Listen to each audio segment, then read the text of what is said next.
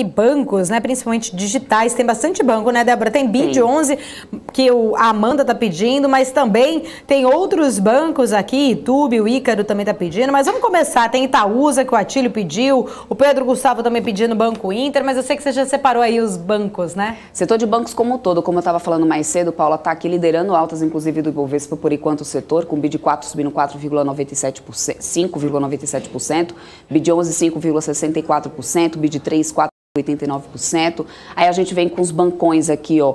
Bradesco, BBDC 3, BBDC 4, mais de 3% de alta, Itube 4, 3,18%, Banco do Brasil 2,5%, só BEPAC 3 que está caindo, 2,03%. Mas o restante como todo está subindo aí, mesmo com aquela questão, como eu tinha falado, que no último, dia, no último pregão do ano impactou o setor como um todo, que foi a questão do IOF ficando um pouco mais caro até 2023, né? Hoje, o setor está inclusive liderando, por enquanto, altas no Bovespa nesse primeiro momento de pregão. Ah, ah, e aí, né, fica aquela questão, Victor, o pessoal está querendo dar uma olhadinha também, ah, BID 11 e outros papéis aqui, tanto, tanto BID como também Tube ah, ah, são um pedido do pessoal, acho que Bradesco também, que eu estava vendo aqui na lista.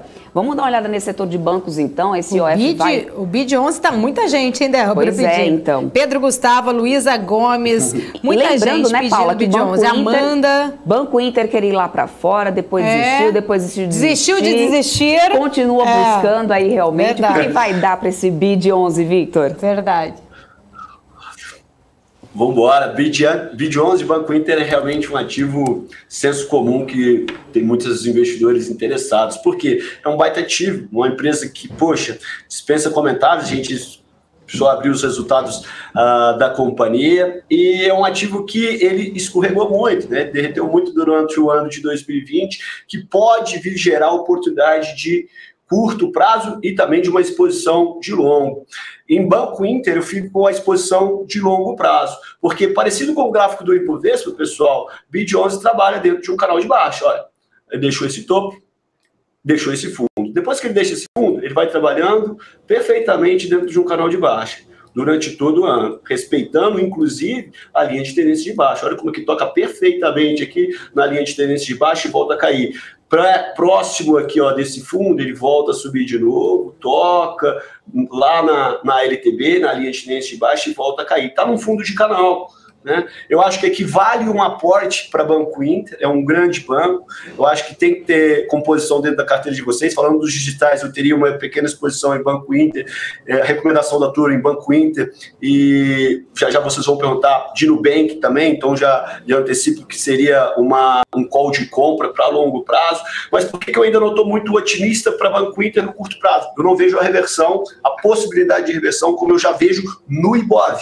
Né? O que, que eu preciso que Banco Inter ele faça graficamente para mim? Eu preciso que ele suba um pouquinho, ele venha testar um pouquinho esse topo de canal, ele, possa, ele pode até romper, venha cair, e depois que ele cair e voltar a subir, esse fundo não pode ser abaixo desse, dos fundos aqui. Aqui ele vai me sinalizar o pivô real, assim como ele vai estar sendo sinalizado lá no Ibovespa, para então a gente terminar de aportar em Banco Inter.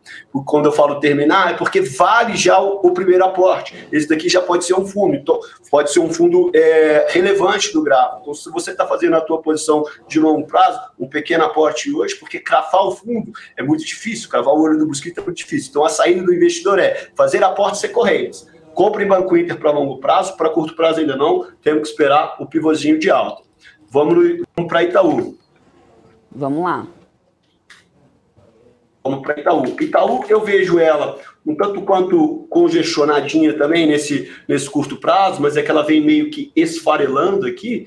Mas essa, esse, esse, é, esse movimento de correção nada mais é que um movimento interessante para um aporte também. Porque, olha, isso aqui eu vejo com uma pernada corretiva dentro de uma linha de tendência de alta. Micro micro tendência de alta, ela ainda não, não rompeu com toda a força, mas olha, a gente consegue fazer. Deixa eu só mudar a cor para azul para ficar mais visível para vocês. Da linha, ó, bateu nesse fundo, corrigiu para cá, bateu no fundo, corrigiu para cá. Ele vai fazendo um movimento de tendência de alta, apesar dessa correção de curto prazo aqui, tá vendo?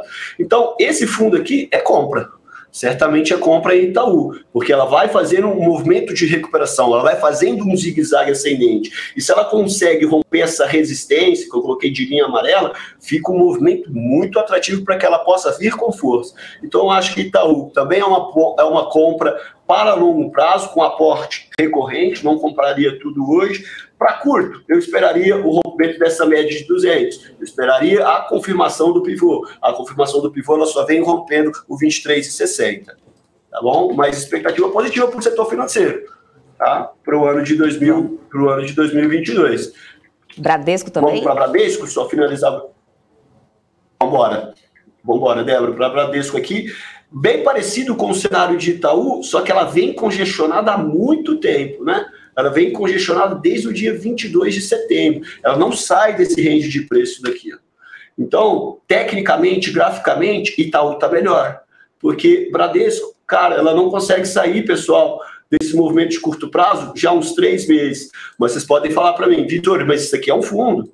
Ela bateu, subiu. Ela bateu, subiu. E ela está batendo justamente nesse ponto, nessa região de preço, em que o mercado, a gente chama isso aqui de suporte. O mercado é onde existe uma pressão compradora maior. Fica atrativo, o preço fica atrativo para que entre compradores. Ele está justamente nessa região. Então, nessa região, certamente é o preço de compra, mas aqui vocês têm que ter paciência, porque ela não sai desse range é, de congestão a três, quatro meses. Vamos esperar. Aqui, um ponto de compra, vamos esperar que ela possa fazer esse rompimento e acreditar que o ativo possa, possa pegar um movimento, uma pernada forte. Esse ponto também é um pontozinho de compra para Bradesco, esse fundo. Se a gente tira o zoom, ela vem trabalhando em um movimento de zigue-zague ascendente, só que mais uma vez congestionou alguns meses, mas vejo um pontozinho de compra mais Bradesco em relação ao Itaú, tem que ter um pouquinho mais de paciência.